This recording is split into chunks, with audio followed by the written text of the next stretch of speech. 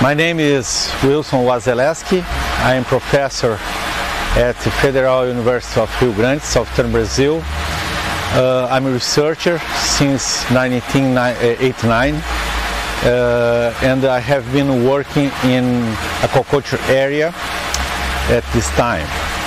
Uh, in 2005 we started to develop a technological package to culture marine shrimp in high stocking densities in super intensive system uh, in, in, South America. Uh, this system we have no water exchange in biofloc system.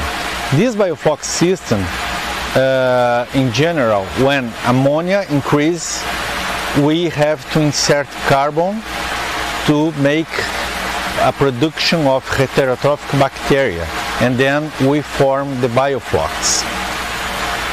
These bioflocs produce, produced in the, in the tanks uh, serve as food source for shrimp and then we can decrease the food conversion ratio in the system. Uh, in general, we can save from 20 to 30 percent of the feed in the system. So, since we have this food available 20, 24 hours per day, it's possible to culture shrimp in high stocking densities, like 3, 4, 500 shrimpers per meter.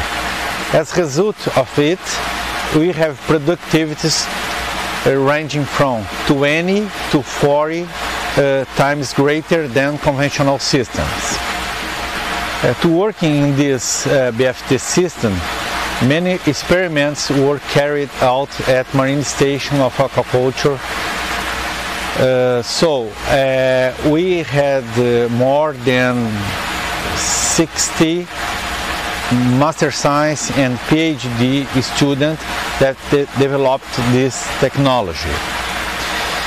Uh, only for you to have some idea, we published more than 120 articles in, in journals and magazines to, to, to transfer this technology to the researched uh, and for, to the researchers and for shrimp producers.